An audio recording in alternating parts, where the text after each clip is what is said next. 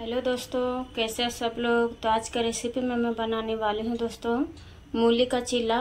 तो आइए दोस्तों, शुरू करते हैं बनाना।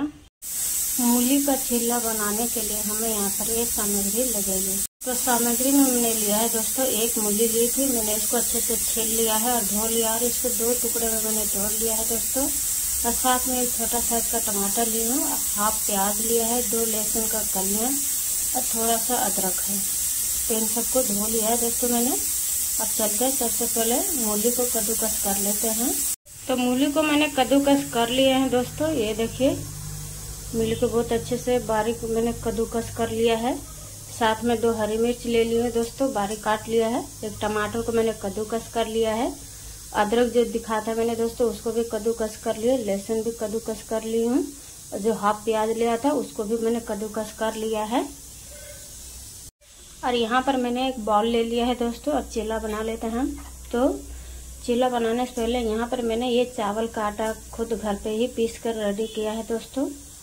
तो हम यहाँ पर अब बॉल में ये चावल का आटा डाल देते हैं। तीन से चार चम्मच चावल का आटा। तो यहाँ पर मैंने चावल का आटा डाल दिया है दोस्तों। और यहाँ पर मैंने लिया है दो चम्मच, बड़ी चम्मच से बेसन। इसको भी हम इसमें डाल देते हैं। साथ में यहाँ पर मैंने लिया है दोस्तों, बड़े चम्मच से तीन चम्मच आटा, गेहूँ का आटा। तो इसको भी हम यहाँ पर डाल देते हैं। तीनों आटा को यहाँ पर डाल देते हैं दोस्तों। अब चावल के आटा की जगह अब सूजी भी डाल सकते हैं। तो अब यहाँ पर मैंने थोड़ा सा अजवाइन लिया है दोस्तों। अजवाइन को क्रश करके डालते हैं। तो अजवाइन को क्रश करके डाल दिया है दोस्तों। तो अब हम यहाँ पर डाल लेते हैं कुछ मसाले। तो मसाले में मैं डाल रही हूँ दोस्तों। स्वाद के अनुसार नमक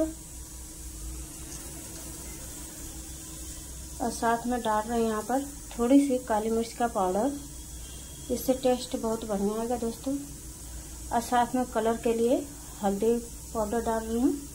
और यहाँ पर चिल्ली प्लस नहीं ले रही दोस्तों, क्योंकि मैं तीखी वाली हरी मिर्च ले रखी हूँ। तो अब यहाँ पर डाल रहे हैं थोड़ा सा गरम मसाला पाउडर। आधा चम्मच से कम लिया है दोस्तों।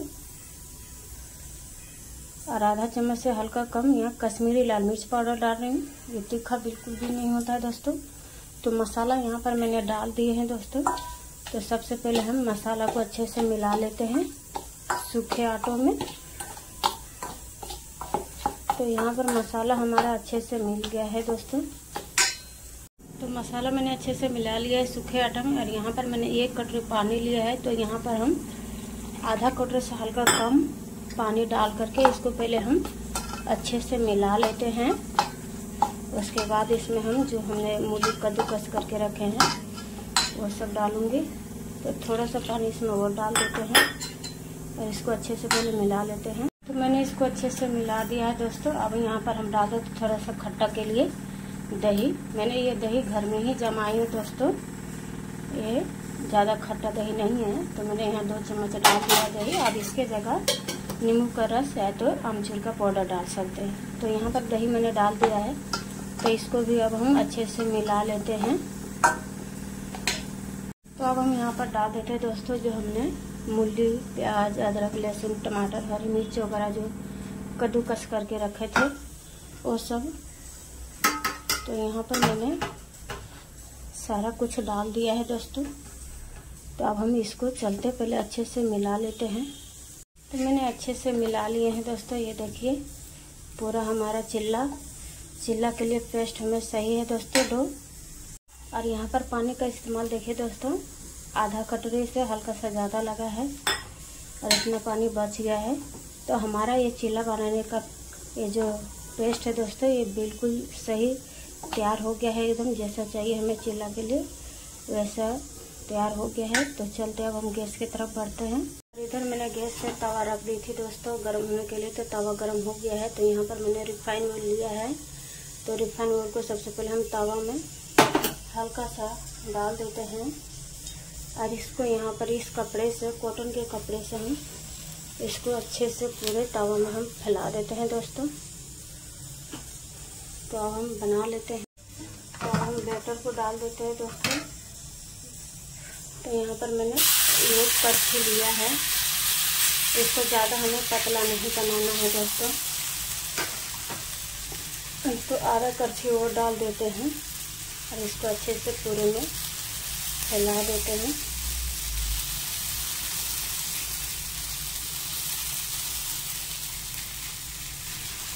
और इसको आपको यहाँ पर थोड़ा सा हम कम रखेंगे दोस्तों, क्योंकि कम आँच में ये अच्छे से दोनों तरफ़ से हम अलट पलट करके इसको सेक लेंगे। तो मैंने फैला दिया है दोस्तों। अब एक हम साथ साथ से यहाँ पर हम तेल लगा देंगे किनारे किनारे से हल्का सा अब इसको हम पकने देते हैं दोस्तों। तो थोड़ा सा हम तेल ऊपर के हिस्से में भी डाल देते हैं दोस्तों, क्योंकि जब हम इसको पलटेंगे तो इधर से भी अच्छे से सीख जाएगा। तो मैंने तेल लगा दिए है दोस्तों।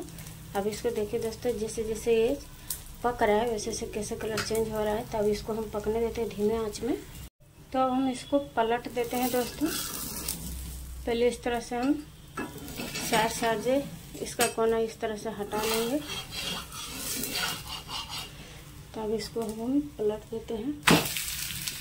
तो देखिए दोस्तों, एक साथ से कितना अच्छा पक गया है ये। तो हम हल्का सा वो तेल डाल देते हैं। साथ साथ से। अब इसको अच्छे से हम पकने देते हैं। तो देखिए दोस्तों, हमारा ये पहला चीला बन करके रेडी हो गया। आपको हम जो हमने पलटा था दूसरे तरफ़ से, ये देखिए, कितना अच्छा से दोनों तरफ़ से सीख गया हमारा चिल्ला तो चलता दोस्तों, पहला चिल्ला तो बन करके रेडी हो गया तो इसको अब हम निकाल लेते हैं, बाकी का। तो यहाँ पर मैंने एक प्लेट ले लिया है दोस्तों तो हमें अब चिल्ला इसमें रख देते हैं। तो पहला चिल्ला हमारा बन करके रेडी हो गया दोस्तों। तो बाकी का हम इसी तरह से बना करके सेम हम रेडी कर लेते हैं।